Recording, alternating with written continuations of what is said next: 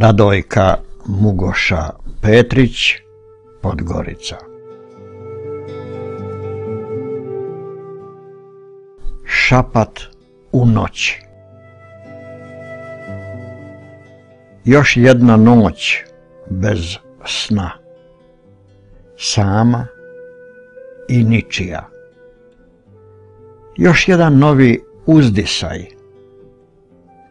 na zidu sjenke igraju.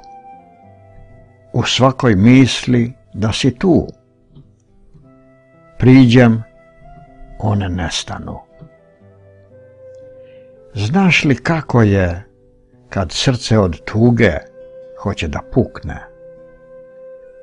Gdje god pogledam, vidim tebe.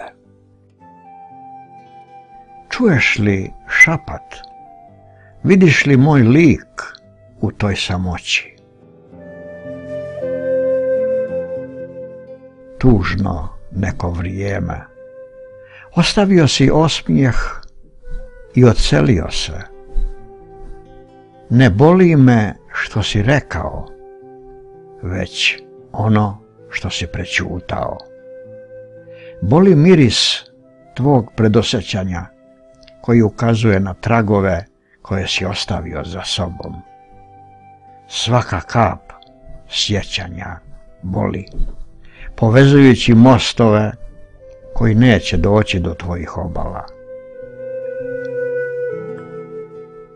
Prevario me je osmijeh sa kojim si otišao, ostavljajući mi nadu za čekanje, koja je naslučivala pobjedu, nikako poraz.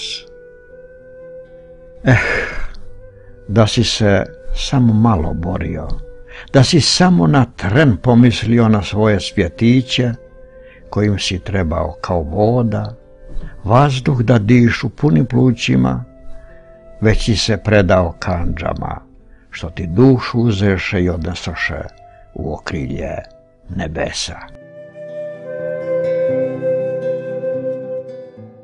Pitam se, stalno se pitam, gdje je izlaz iz ovog tužnog svijeta?